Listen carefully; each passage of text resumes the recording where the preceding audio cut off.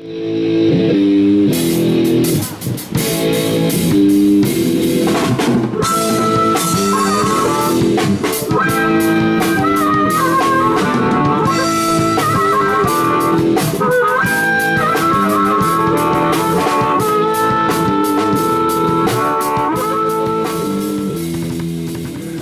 gallery is titled Made in Heaven. And, uh, well,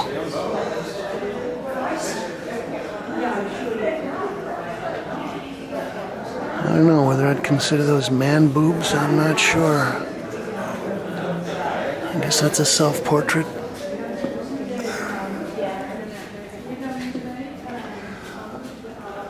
Well, a lot of people thought Jeff kind of went off the track when he got involved with the uh, soft porn end of uh, the art thing, and uh, I don't know. It's got a lot of makeup on there.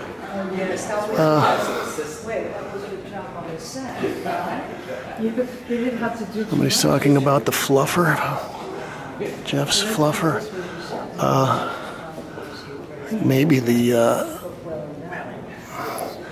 more controversial aspects of this was the uh, the child that uh, he and Cicciolina had, and uh, I guess they're involved in a custody battle for years. And I'm not sure, but I think at some point he actually uh, had to snatch the kid and uh, try to get him away from the mother. I don't know. That's but you want to sit around and look up at something like this and go, "Gee, mom and dad, is that when I was conceived?"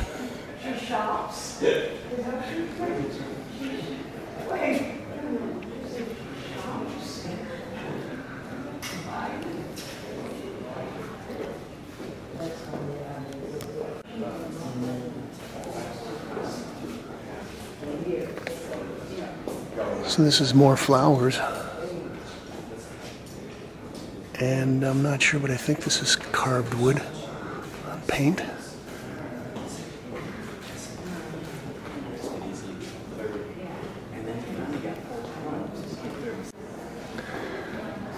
This gallery is titled Easy Fun.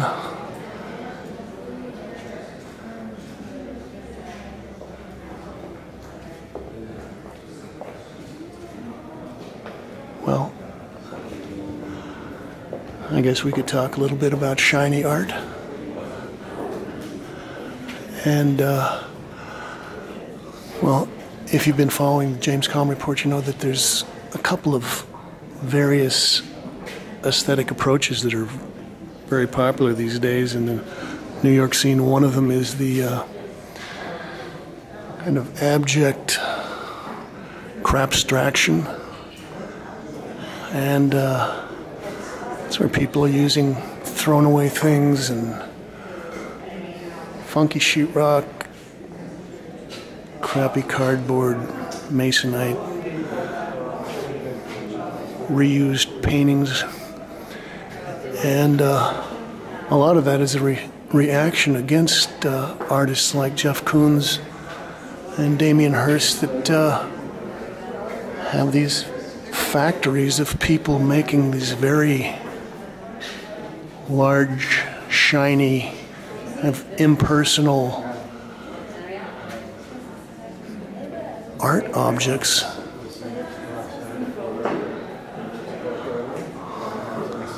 Although, again, uh, there is a kind of a superficial quality about the color that uh, I think even Clement Greenberg might appreciate.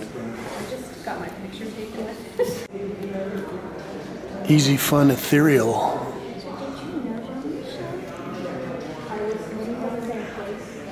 Well, now we're coming to the part of the show that I have some real problems with. Although I kind of like the little elephant. These are stainless steel with uh, lacquer paint on there.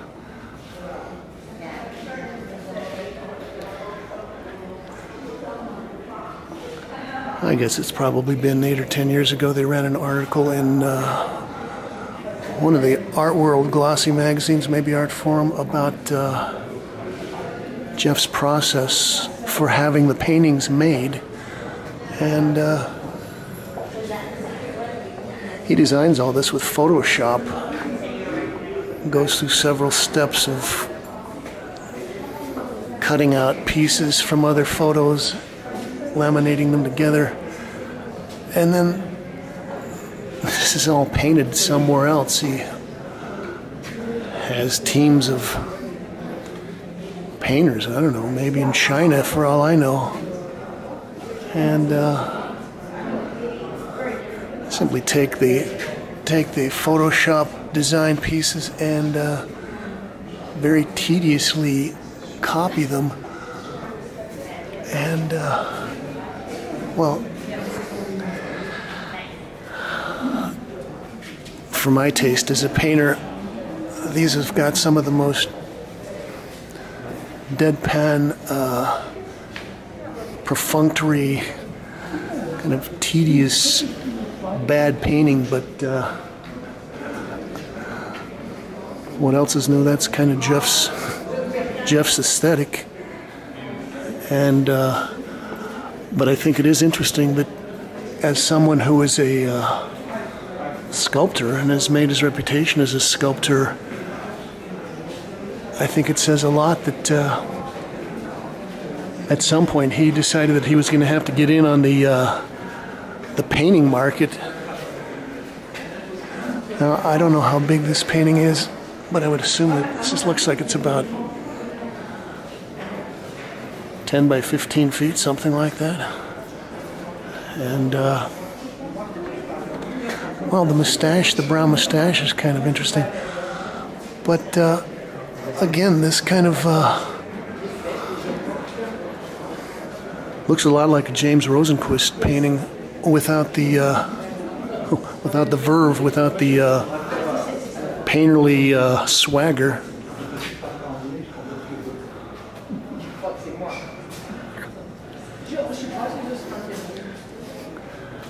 I guess that these paintings take quite a while to get done. There's a lot of minute,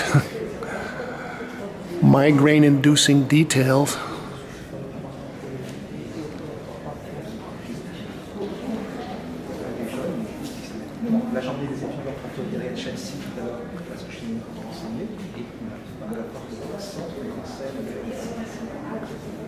Fourth floor.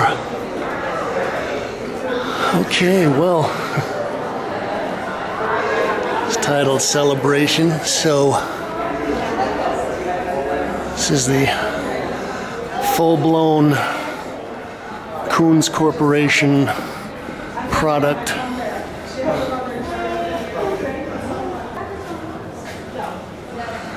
Oh boy, I wonder if he's getting product placement money from. Uh, Legos. Oh, I think these just might be, if these are not digital prints, he's got some very good uh, technicians making these paintings for him, and they've uh, photoshopped them down into a nice, uh,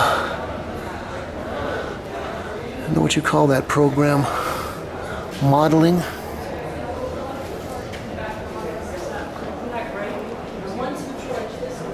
Well, so this gallery is titled Celebration, and uh, okay, this is the uh, kind of the current huge Koons Corp Productions, and uh, I was just saying, uh oh, get the baby away from there. Oh my God. I think I saw this piece on the roof of the Met uh, a couple years ago.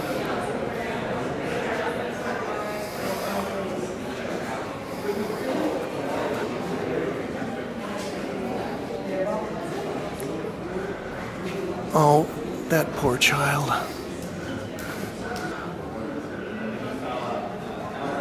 Well, they were talking about the fact that uh, to fabricate these sculptures and to get this kind of uh, beautiful finish. These are all hollow stainless steel that uh, Jeff had to work with some very advanced technical factories and uh, I guess maybe even paint factories, lacquer producers.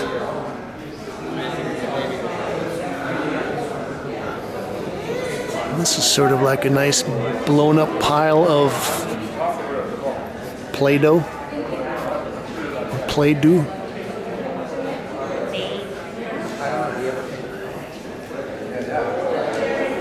Well, I kind of like the like the color thing.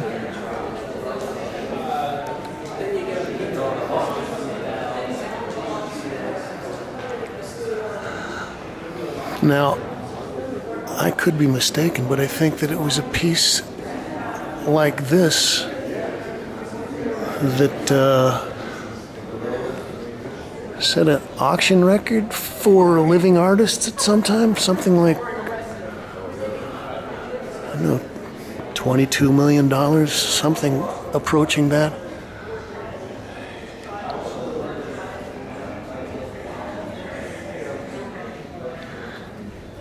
Well, there are some interesting questions that this work does kind of pose, and one of them is the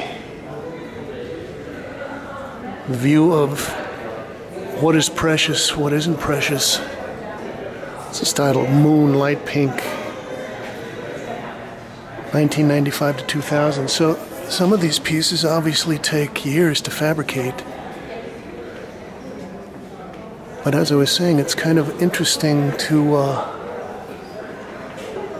think about value, preciousness, and uh, how does that uh, cross over and get conflated with kitsch and bad taste and uh, vulgarness. This is Popeye. Well, I remember seeing a lot of these works uh, at the Sonnabend Gallery uh, maybe 10 years ago. Again, I was impressed. These are, I believe, cast and painted aluminum. Maria just told me about the fig leaf. Now, a piece like this actually uh, also relates, I think, uh, aesthetically and conceptually to uh, Warhol's Brillo boxes. And uh, Arthur Danto, in one of his early reviews, said that when Warhol was able to produce the Brillo boxes, that that was the end of art because he had totally reintegrated art into life when you could no longer tell the difference between a real Brillo box and one of his artistic creations.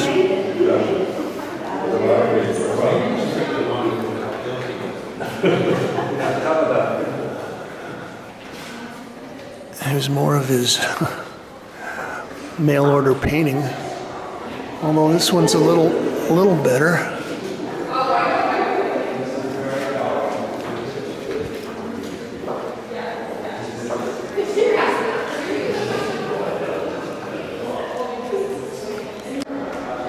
Piece is titled Hulk Organ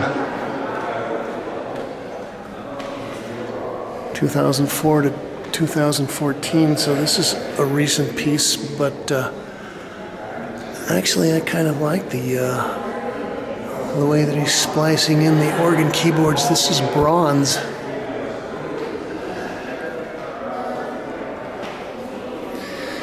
And uh, yeah, there's a whole notion of the simulacra that was very popular in the 80s.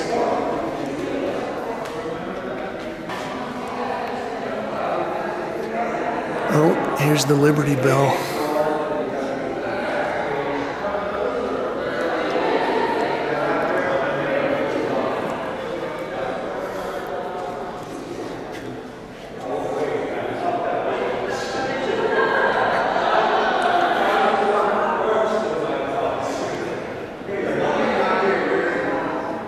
This gallery is titled Antiquity. And this is Metallic Venus.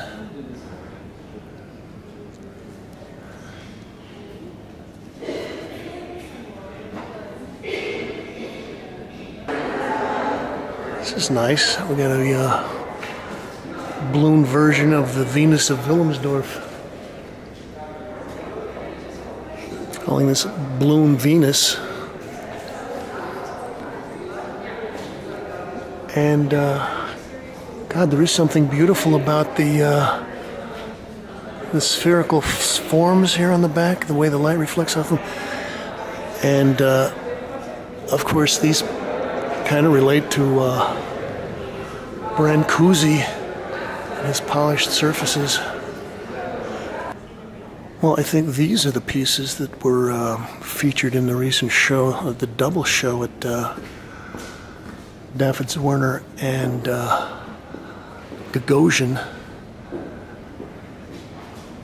And, uh, well, he's actually falling back on maybe the, the ultimate crutch neoclassicism.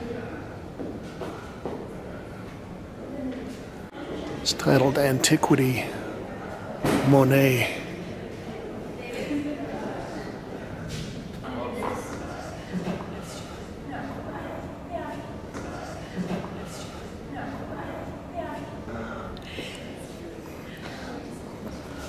One of the things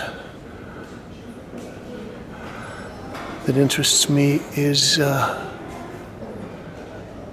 Jeff Koons as a corporation. Uh, the whole idea of when when does an artist stop being an artist and start being a company, a uh, conglomerate? Is it uh, important to have the human touch? The I know. People say I fetishize the, the touch of the artist, but uh, I know the last time I checked, uh, computers, animals, and insects don't have fetishes, so maybe there's something uh, inherently human about uh, fetishes.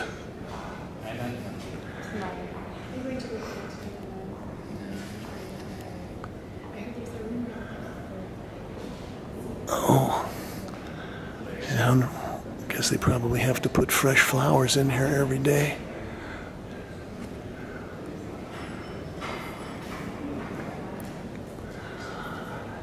And uh, maybe one of the other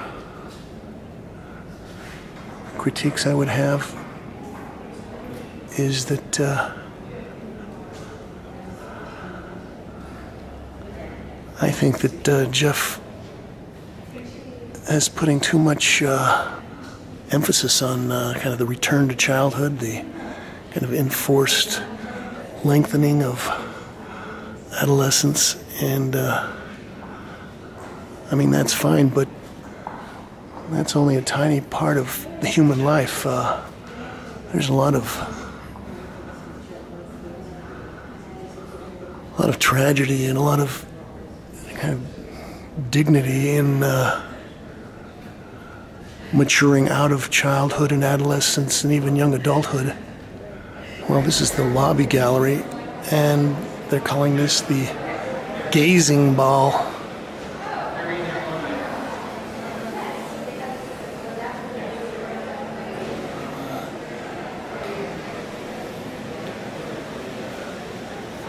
And I assume this is based on a classic Greek marble. And again, the blue ball. Oh, there's the famous Hercules sculpture. This uh, has got to be about 12 feet tall.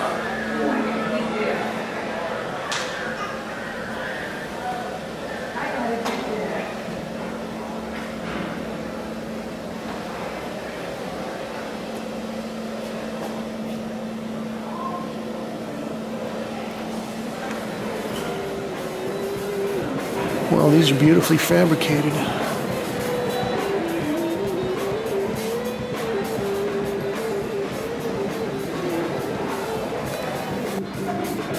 This is James Kalm reporting for the last time from the Whitney Museum on Upper Madison Avenue on Jeff Koons' retrospective. Thanks, Whitney, for many years of uh, wonderful art viewing, and we'll catch up with you downtown. And thank you, Kate. Better not come around here no more. My dad's got a shotgun for your head. Better not come around here no more. I don't see your dad around here no more. You can't come around here no more. I got a shotgun for your head your head.